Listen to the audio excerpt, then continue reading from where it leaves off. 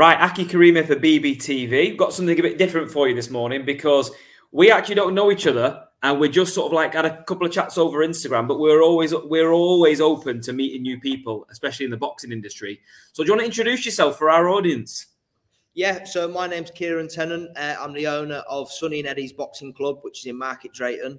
Um, I'm 26. I've just come out of the army, the British Army, about two months ago, and decided to go all in with boxing, which is a family legacy of ours. Right. So did you box? Did you box in the army? Yeah, uh, yeah. I did a bit in the army. Um, I did the amateurs before I joined the British Army, um, and then once I finished with my amateur career, because of obviously when your career comes into it, when it comes to the British Army, it takes up a lot of time. Um, I managed to have a good few fights in the British Army, which was which was a good experience um, because it's kind of the in between. It's not like amateur boxing and it's not unlicensed boxing. Mm -hmm. um, it's like a mixture between the two because it's not fully affiliated with England boxing. Uh huh. Okay. Um, so yeah, so I've, I've done the, I've done my time in the amateurs with England boxing, and then I got involved with the British Army boxing, and then obviously I decided to continue um, the boxing on, but obviously as a coach this time round. We've got a load of military, ex-military followers on here. So which regiment were you in, and all of that sort of stuff? Yeah. So I was in One Royal Irish, which is in again uh, Market Drayton. Um, so big shout out to them. I had a great career, um, learnt a lot, had fun, um, but obviously it was time to move on. tell me a bit more about boxing in the army in the military, actually, because I know a few ex-military boxers. Um, uh, you know, I got a couple of mates from the Grenadiers who were who boxed in the um, in the military and everything like that, and they said it was quite a good setup or at least you, you you got a chance to sort of stay fit and everything like that. So tell us about the setup of army boxing because I've always been interested. Yeah, so to be fair, it is a really good setup. It, it's completely different. Um, it's very regimental, um, and what we call is what we house was the Fox Cup, um, which is more it's more like inter-house boxing. So it's company v company um, in in your own battalion. Um, so the setup's very strange because everyone's in their number ones or number twos, so it's very affiliated. It's very everyone's looking sharp um, and good, well dressed. There's no civvies there. It's all military personnel. Um, and then obviously there's the other end of the military boxing, which is your British Army boxing team. Um, I was invited to go down to do the development um, in the development team, um, but again, work was too busy and I wasn't allowed to go. Uh, you kind of have no control when it comes to the British Army and the boxing side of things for the simple fact of they run it in their way. Um, the weight cuts are very drastic, a bit too much, but it's part of the army army lifestyle. But it is a very very good setup and it's a good laugh because obviously it brings the morale high and you can fight anyone no matter the rank. So. All right, that's interesting. So some, so you could have like you know a corporal fighting like a, a major or something like that, could you? Yeah, hundred percent. If if they accept it, yeah, and they want to go down that road, and um, the likelihood of that happening is is low. It's more like your privates versus screws, or your privates versus sergeants, that that kind of stuff. But it's a very very fun night because obviously you you, you want to get your own back when you beat it all the time from your chain of command. Obviously, if you get an opportunity to give them a good fight, you're going to go for it, aren't you? it sounds great to be honest. So how often how often about scheduled? Is it just as and when, or do you have like a, a calendar or a schedule? Um, now it depends. It, it does depend on the battalion. Um, obviously, our battalion was um, they were very operational based, so they didn't have the time to be able to put them on regular. Where like other battalions around the country, if they're not very operational and they don't go on a lot of exercises throughout the year, then they will basically just have as many as they can, and, and they're quite busy. Like the para the para regiment, they're quite busy. Um, the rifles, they're quite busy when it comes to the boxing. But our regiment, they just said they were too operational, so we didn't get the opportunities. Like it wasn't very regular. It's every three years if you're lucky. It is one that's going to cause a bit of controversy. Then, what? Who was the best company, or or who's got the reputation of being the best company in the army? Um, personally, I would. I it, it's definitely it's definitely um, a big one for me. But I would say the Paras are quite well known for being good fighters, good boxers, one, they're extremely fit, and two, they do it a lot. So I would say the um, the Paras are definitely at the top of the game when it comes to the boxing. Is it a good way to like settle little straighteners as well? Like you know, if you've got like a little bit of a beef with with with someone else at the same rank, let's just say, for example, you can say, "Well, listen, let's meet next week at the boxing competition and let's have a straightener." Um, again, with us, it wasn't like that. So I don't know for other battalions. I can't speak for them. Um, to be fair, block life is what we call it, where obviously you live in the block. Um, straighteners happen all the time. it happens a lot more than you would expect. Um, I think mainly because alcohol is involved. Um, but you know, realistically, when it comes to the boxing, I, I, I, do think it's a dying sport in the military. Is the boxing? Um, obviously, Brazilian jiu-jitsu is on the rise, um, so there's a lot of people heading towards that side of the game, if that makes sense. Okay, so like in in in like current like modern day operational like British military, there is there you have to do like a sort of martial art option. So boxing used to be the thing, but it's moving more into jiu-jitsu. Would that be right? Would that be fair? Yeah, yeah. Basically, I mean, you don't have to do any of the sports. Like it's kind of like optional. So if you put yourself forward and said, "Listen, I, you know, you went to your chain of command and you said I want to do this sport because I'm good at this sport," then obviously they will help you and push you into that sport. Um, if you obviously if you're not good enough, then you won't be able to continue that sport. Um, but I would say at the minute, ninety percent of people are, are massive into the jiu-jitsu side of things. Um, and obviously, football's always going to be big. Where boxing's boxing's still high up there, just not for every battalion anymore. Why do you think that's been then? Because because we're seeing that reflection in society. Well, well, in terms of like boxing, uh, there's a lot of like it used to be in schools. It's not in schools yeah. anymore. I used to yeah. run a boxing club in my first ever school teaching job. Yeah, they, they don't run the boxing anymore. So why do you think it's dropping off a little bit? Um, it's a hard one to say, really, because I, I kind of got the impression that it was it was a bit too brutal for, for t- today's society. Um, where if you look at obviously the way combat sports is going, now it's getting a, it's getting even more brutal because obviously bare knuckle is, is on the rise. MMA, so yeah, that's what I believed. I believe that potentially it was because boxing never changed and it was as brutal as it was hundred years ago if not more brutal because the science has changed behind boxing. So obviously people are getting stronger with strength and conditioning. People are getting fitter through different types of thingy. Nutrition is massive at the minute. So obviously boxing is even more brutal, I would say. But I couldn't say why, why it's sort of gone downhill. You know, could it be the fact that unlicensed boxing is so big at the minute so anyone can be a fighter? I, I couldn't say. Well, anyone can say they're training for a fight, but like you know yeah. when you see you when you see when you're here in the pub and you hear like I'm training for a fight, and it's basically like three round white collar. I'm always a bit dubious when they, when when they're saying that, but yeah. Well, I mean, you must be super fit in the army, like super super fit the army boxers. So you must there must be some good bouts. There must be some actually really good bouts. Yeah, yeah, there, there are some really good fights, and um, it, it's very unpredictable because of the fitness levels. Obviously, everyone knows the fitter you are, the more damage you can take in boxing. Um, so, because obviously our fitness levels were so high that when you finish training in the infantry, your class is a semi-professional athlete through the training you go through. So when you're in the boxing, obviously you're quite high up when it comes to the fitness side of things. But I've seen I've seen third round knockouts in the last ten seconds. So it's very unpredictable, and it's it's not as much boxing as a technical sense, it's proper good old tear ups like a serious war. Yeah, I've seen a few like uh, clips online and that, and or, yes. from like yeah. you know like from uh, SAS Who Dares and everything, just like going toe to toe. Yeah, yeah, and I, I, think it looks great. But I mean, I appreciate you guys are on a super level. Like you know, you're you. I wouldn't compare you guys to like the average white collar fighters. You guys are super um, fit. Uh, do, you, do, you, also have good trainers in there? Do you have like ex pros, ex amateur fighters?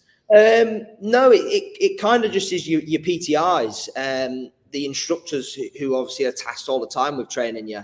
Um, it doesn't really tend to change. Obviously, people can go away and do different qualifications in the army, so people can go away and do the coaching qualifications, and then obviously you kind of just training with, with you with your friends. You know what I mean? So, you know, your battle buddies, your people who you're with every day, you just train alongside them, and you just continue your life in the army. But obviously, you're training for fights. Yeah, fascinating. I've always wanted to know a bit more about this. Like I said, I've got friends who have told me bits uh, from the past, but this is like we weren't even meant to be talking about this, but it's quite fascinating to me. It's fascinating. Yeah. Um, and you, you must have seen some good. You must have seen some decent knockouts in your time as well. I've seen a lot of good fights. To be fair, um, I've you know I have also witnessed good fights in the unlicensed game. Um, I only just sort of found out. I always believed that white collar was just all white collar, where I've kind of recently found out that there's unlicensed boxing and then there's white collar fights. Mm. Um, mm. Obviously, I, that was a shock to me. I thought it was all in the same bracket. Um, but I, I, I, train with a, a, heavyweight at the minute, um, Ash Addison, who's um, he was a cruiserweight, Arium title uh, twice, uh, English champion. So I think that that's kind of on the rise as well, the unlicensed side of things.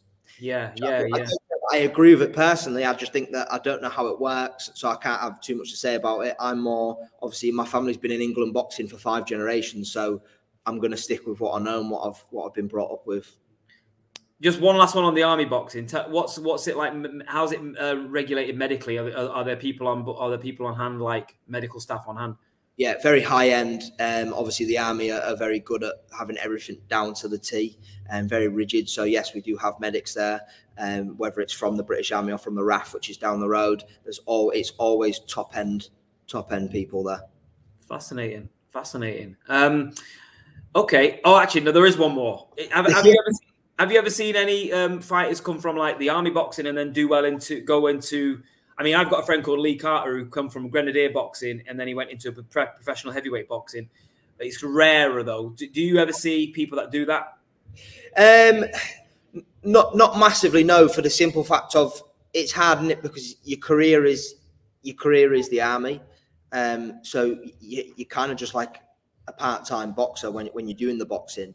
Um, if you get into the British Army boxing team, then that's where you become a tracksuit soldier and you work your way in just boxing. All you do is box um, for the, the, the British Army. Um, but the likelihood of getting into them into that camp and obviously being able to do that is quite difficult because we are soldiers, or we was uh, me personally, I was a soldier. Um, so that is your main responsibility is being a squaddy. Mm. Fascinating, mate. Well, thanks for enlightening me uh, about that. Um, we'll get back to your your thing. So you said there you've got generations of um, boxing in your family. Tell us about that. Yeah, so it all started off with my great granddad, uh, Tom McGarry, who was um, he did a bit of boxing himself and then went heavily into the coaching side of things in Coventry. Um, now he was the secretary of the um, Triumph ABC, which is still quite a well-known club, um, and he did that for a very, very long time. I think he ended up being in there for 40 years um, doing that business, and he was the secretary of the club. Uh, my granddad, uh, Edward McGarry, who the club's named after, which is Eddie, um, he was a very, very good amateur, 170 fights. Um, he was just naturally, naturally gifted as a middleweight. Unfortunately, he lost his eyesight in one eye from from a bad fight. Someone was poking him in the eye with the old style gloves, um, and he went into coaching. Um, he trained Errol Christie, if you know the name. Of course. Yeah. Yeah. yeah he, yeah, he trained Errol Christie. Um, he trained Steve Bendall, um, who's my second cousin. Um, and then obviously stayed in coaching for a very, very long time. Now, Triumph ABC still hold a night for Tom McGarry every year. One, one night a year, they have a home show called the Tom McGarry Show. Um, now it's my time to obviously put on one home show a year called the Eddie McGarry Show. Great. Okay. Brilliant. So you've got the you've got some um, history in the family now. Yourself, um, coming out of the army, and why does why did you decide to set up a gym? Was it because of the family history? Was it because boxing and army is what you know? Yeah, I mean, it, it's a, it's a pretty simple one. To be fair, all I've ever known is fighting. You know, since I was a kid, obviously it's in my it's in my DNA from obviously my family. Um, so all I know is constantly being in a bit of a battle, really. Um, and my granddad died last year, um, so I decided that I have to continue his legacy on and obviously pass it down and pass it down. Um, so so that's why I went in, into coaching and I just put all my money into my own boxing club and thought it's very difficult now to open a boxing club with the councils. Um, obviously, there's not a lot of funding anymore for boxing, so I thought, well, I'll just do it myself and just put everything into it. Yeah, well, sorry to hear about your granddad. I'm sure uh, he'll be proud of what, what what's going on now. So tell us about the gym. Yeah, so obviously we're open seven days a week. I've gone quite like an American style. Um, I've, I've opened seven days a week, 14 hours a day. Um, we have obviously open classes. We have a squad session, which the squad session is for your fighters. Um, and, and we just sort of like, it's a tough love approach, obviously quite military style uh, in the training what I provide. It's me and my wife what run the club, um, and it's called Sonny and Eddie's. Sonny is my son, um, who's 18 months old, so I've set him up ready for obviously when he grows up and continues the legacy. And then obviously Eddie McGarry, which was my granddad, um, it's named after them too. So, so currently, oh yeah, just remind us where you're based. You told me off camera, but yeah, so we're based in Market Drayton, Shropshire, um, and we're Tern Valley Business Park. That's where we're based. Okay, so tell us about how many. So you've got um, I would, uh, do you have a lot of people that just come in from the local area to just to, to keep fit? Do you have do you have some decent amateurs? Are you are you planning on turning anyone over? Um, so yeah, so to be fair, we we picked up pretty quickly. I didn't expect it myself. Um, we have what we call dad bod sessions in the morning, um, which are just for just for like your older generation, like forties, fifties um, era. That they, come in and they do just your basic fitness. We have open classes, which is again for anyone, men and women. They come in, they do the fitness side of things. If they want to learn how to box, or I see something in them, then I put them in the squad. Um, I've got three very, very good fighters, which I believe um, Kian, Jordan, and Sam. Um, they've just competed last weekend. Um, they they all did extremely well, and obviously we're just waiting on the next fight date, and uh, we'll just keep them keep them ticking over. All right. Well, when is the next fight date then? Do you, do you, do you get matched up with some of the local? You know, obviously you're in the amateur circuit, but um, yeah. is is there much of a scene in West in the West Midlands? Yeah, we, yeah. There's there's a lot going on. Obviously, it's coming towards the end of the season now, isn't it? So it does slow down a little bit this time of year. Um, obviously, it's more of, of your tournaments and stuff, and obviously because he's a brand new lads. Um, Jordan, he's had three amateur fights before the weekend, so he's had four amateur fights now. Um, so they're, they're, a bit too early to start putting them into any any kind of tournaments and stuff. So next season it'll it'll pick up again January February time when we can start getting them out regular. Um, but the West Midlands, obviously, we've got Birmingham, Coventry, and we've got a lot of places where we can travel, and we'll be on the road all the time with the boys. Oh, you had the you had the Birmingham Commonwealth Games, didn't you? There as well, obviously, and uh, there's a big yeah. buzz around there. Yeah, yeah, yeah. Um, I um, think I think with um, again, a lot of people come through the doors who have done the unlicensed boxing, especially in this area. Now, I didn't think it was as big, so but I got a lot of people coming up to me and saying like they want to compete, but they don't want to compete in the amateurs. They just want to compete in unlicensed. Mm. Um, so it's kind of difficult because you don't know where you stand with it all. Because obviously the main goal is to focus on the amateurs because it progresses their career correctly. Um, but obviously, people are turning pro now with doing the unlicensed. So it, it, it's a very, very strange era to be in, really. Strange era because some some people even make more money in the unlicensed scene. I, have got a friend who was offered an unlicensed fight. Not to, I won't say his name. Yeah. People will know who he is, and he was offered ridiculous money to go back in and have an unlicensed fight. Yeah, I mean, like more than he probably got when he was a pro yeah, there's there. I, have I've I've seen the kind of money what they get offered, and there's a lot a lot of money in it, and and it obviously is going to attract, you know, 18, 19 year olds who want to fight, and they do take it seriously. Like obviously the, the white collar, it's only eight week camps, and then obviously they have a fight for charity. The unlicensed, some people do it all year round, and they just wait for the phone call. And they just they get someone will call them up and say 250 quid to fight on the weekend. Someone's pulled out, and obviously they do that for a living. Um, so th- there is a lot of money in unlicensed fighting, but you know, beforehand you wasn't able to progress into the professionals if you've just done unlicensed. Where nowadays, obviously, you're getting big names who are turning over to the professional game with no fight experience, no amateurs, no unlicensed. So it's kind of like it's unpredictable at the minute, isn't it? Really? Mm, yeah, oh, it definitely is. What's your vision for the? What What's your ambitions for the gym? Uh, the ambitions for the club is, is to create um, really good amateur fighters, uh, you know, title holders. Um, I, realistically, my granddad trained over 80 national and international amateur champions. Um, so obviously, my goal is to either ma- match it or beat it, um, just to keep the legacy really rolling. I mean, Errol Christie's still in the Guinness World Records. What's in the What's in the Guinness book for? Um, he literally just won everything every season in the schoolboys, juniors. He just right. won everything, and he just got put in the Guinness World Records for doing it. Um, and obviously, my granddad trained him, so obviously that's quite a big, a big hist- historical moment for the family. So you know, if I can do something similar, or you know, at least aim towards that, then you know, I'm achieving really. Oh, great! Well, look, it's great to hear about new gyms. Uh, it's great to hear about your story coming from the military and yeah. setting up your own stuff and doing your own thing. Because at the end of the day, I've got a lot of time. Well, we, we've got a lot of time on the channel for amateur trainers because they're salt of the earth and doing a great job for the sport, basically. That's how yeah. we see it. Definitely, definitely. I mean, again, obviously down the line, I, I think obviously the way forward is the professional game. Obviously, you've got to put the you got to put the graft in and and, and obviously create uh, amateur champions before you go down that that road, I believe. So obviously, you know, hopefully ten years down the line when I'm slowing down in my career, um, we can then obviously go pro and, and obviously train professionals and hopefully with the same lot we've trained in the amateurs.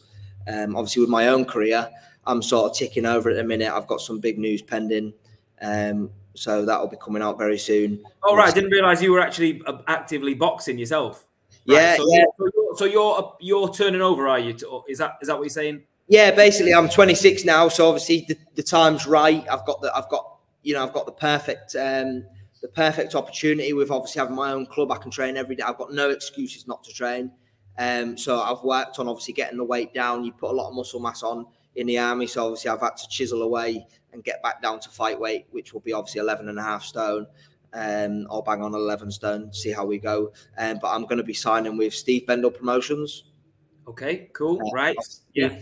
Steve Bendall being in the family, um, it's a good opportunity to, to, to continue, really. Yeah, you're not going to be short of getting a few fights, are you? If you got if it's in the family. that, that's the one. Yeah, that's the one. Yeah. All right. Cool. And, and when when are you planning on doing that? When are you planning to turn over then? Um, so I'm planning on going down because his club is in Bournemouth now. So um, obviously he he's got. Um, I don't know if you've heard of Lee Cutler. Lee Cutler's on on his. Of course, cards. he fought a friend of mine. He fought my friend of mine, Brad Ray, Bradley Ray. Yeah. That's the one. Yeah, I watched that fight. Yeah. So obviously I, am going down there in uh, end of December. So well, just before Christmas, I'll go down there, um, and obviously we'll get get the ball rolling, and then hopefully get everything done medically wise, and get get sort of like signed off, ready for February. Perfect. All so, right. Well, look, it's, it's been great uh, chatting this morning. Yes, and we got we got there in the end. I know we've had it planned for a bit. We got there in the end. But yeah, um, yeah. yeah. stay in touch then, and we'll we'll we'll uh, you know keep in touch with you as a gym. Definitely. Yeah, hundred percent, perfect. All right, mate. Um, I can see some sponsors on the back. You want to shout them out?